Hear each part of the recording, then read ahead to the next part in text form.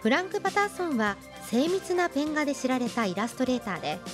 ポストや雑誌の挿絵などさまざまなジャンルの商業作品を手掛けてきました。特に彼の名を有名にしたのは自転車にまつわるイラスト。自らも自転車を愛用したパターソンは人々の生活に溶け込んだ自転車を数多く描き続けてきました。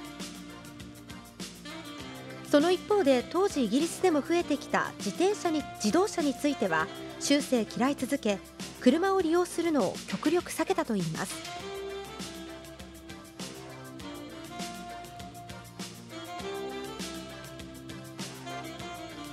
パターソンのこうした強い思いは絵に表れ自転車を愛する人たちにとって彼の作品は憧れの存在となっています。しかし第二次世界大戦の影響でその作品のほとんどが消失。こちらに展示されているのはレプリカですが実物はほとんどなくなっておりこうして一堂で見られるのは貴重な機会となっています。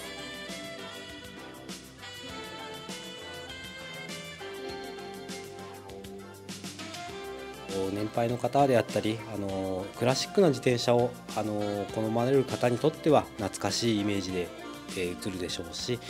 えー、若い方今例えばロードバイクとか自転あの新しい自転車に乗られてる若い世代が見てもですねすごくこう、えー、新鮮に映ることと思いますので、あのー、まあ、そういったところをご覧になっていただけたらなと思います。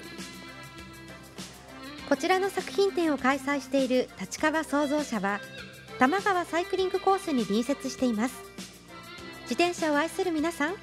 サイクリングの途中に古き良きイギリスの自転車文化を感じに立ち寄ってみるのはいかがでしょうか。